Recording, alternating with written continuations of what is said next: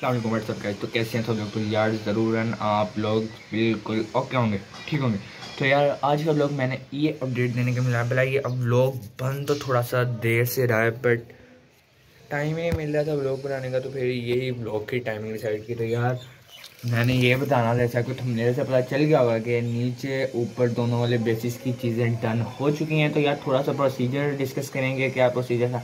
फ़िलहाल हम चलते हैं अपने कैमरा स्टैंड के ऊपर, अपने कमरे के अंदर, बाद में बकाया बात करेंगे तो चलते हैं। यार, ये तो वहाँ थोड़ी ब्राइट कमिंग लेने के लिए यहाँ पे आवाज़ें भी काफ़ी ज़्यादा आ रही हैं तो चलते हैं वहाँ पे। तो यार गाय तो हम आ गए हैं अंदर। तो यार, अंदर से थोड़ा सा व्यू मतलब कि थोड़ा सा डिस्टर्ब हुआ है, क्योंकि लाइट्स का मैं बकाया बाई दिन की लाइट है तो दिन की लाइट का कोई मुकाबला नहीं है। तो यार, फ़िलहाल इस तरह की बातों को छोड़ते हैं बकाया हम बात करते हैं। बेसिस के प्रोसीजर की क्या बेसिस का प्रोसीजर है और वगैरह वगैरह वगैरह। तो यार बात कर लें पहले कि क्या होता है सबसे पहले। तो सबसे पहले जब हम डॉक्टर के पास जाते तो वो हमारे दांतों का तजिया करते हैं। तजिया करने के बाद दो रबड़ चार रबर बैंड ऊपर, चार रबर बैंड नीचे, ये लॉक डालता है। अगर आपको अंदर से यार एक नज़र आ रहा हो ब्रैकेट रिंग गोल तो वो हमारे नीचे दाढ़ के ऊपर दो नीचे बैठते हैं और दो ऊपर बैठते हैं, जिनकी वजह से बेसिस को वो जो वायर होती है, वो हमारे बेसिस को होल्ड करती है। वायर वायर को होल्ड करने के लिए वो लगते हैं। बकाया ये जो दांतों के ऊपर लगती हैं, इनको ब्रैकेट्स बोलते हैं। यार, अगर कोई मेरे से पूछे ना कि आप कैसा महसूस कर रहे हो इनको लगवा के, यार, है तो फ़ायदे की चीज़। बट मैं कहूँगा कि कोई मुझे ना एक लाख भी देना या ब्रेसेस लगवा लो।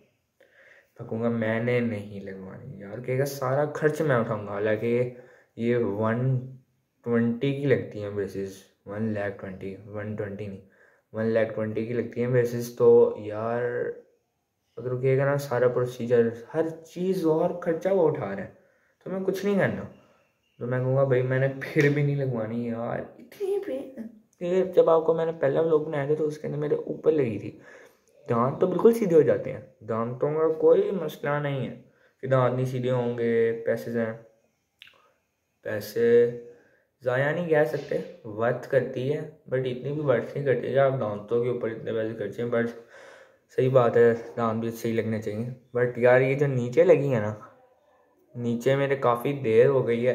आई गैस तीन माह, दो एक से दो माह हो गए हैं, दो ढाई माह हो गए हैं, मेरे नीचे लगी हुई हैं और नीचे यार पहले माह में स्लाइस खाने पड़े, कुछ भी नहीं खाया जाता। इतनी दर्द होती है ना कसम से, मैं आपको क्या बोलता हूँ यार, बहुत दर्द होती है। मगर ये था मेरा प्रोसीजर ढाई साल लगता है इसके ऊपर। ये आपको दांत शेड करने में पंद्रह दिन बाद तार टाइट करवानी पड़ती है। तो ये सारा प्रोसीजर है। तो वैसे ही इस तरह भी नहीं है कि किसी के ज़्यादा ख़राब है तो वो जाएगी, क्योंकि जब आप एज ज़्यादा होगी तो फिर ज़्यादा काम ख़राब हो जाएगा। तो वैसे आप लगवा लें। अच्छी चीज़ तो है, अच्छी चीज़ है अगर आपको दर्द महसूस कर सकते हैं यार दर्द बहुत ज़्यादा। पहले मैं भी यही कह रहा था, कुछ नहीं होता, लगवा दो लगवा दो। लगवाने के बाद पता चला कितनी तकलीफ़ होती है अब। अभी भी मेरे यहाँ पे ना दर्द हो रही है बहुत ज़्यादा तो मैं सोचा यार दर्द से ज़्यादा एक ब्लॉग ही बना दें ताकि उनको बता दें भाई, दर्दें लग चुकी हैं। और बकाया ना, इसके बाद मेरा ना थोड़ी देर बाद आएगा बट एक होवरबोर्ड की पेंट प्रिपरेशन का भी ब्लॉग आएगा। और होवरबोर्ड ले लिया यार, उसका ब्लॉग आपने नहीं देखा तो जाकर देखो ना पहले वो तो। चैनल को सब्सक्राइब कर देना वीडियो लाइक कर देना कमेंट कर देना, अगली वीडियो किस पे बनानी है।